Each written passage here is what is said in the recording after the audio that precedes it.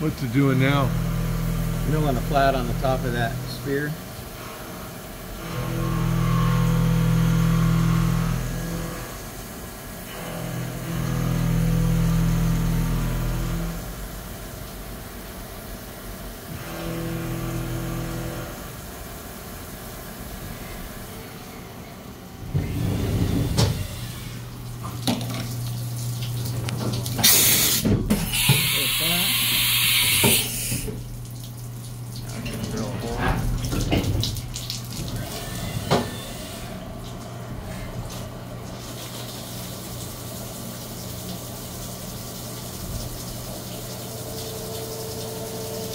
What is that part that you're making?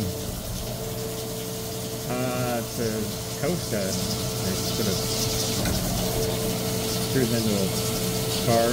Oh, right, right, car, right. and like, hook on it if they want You make a lot of race car stuff. Yeah. More motorcycle stuff.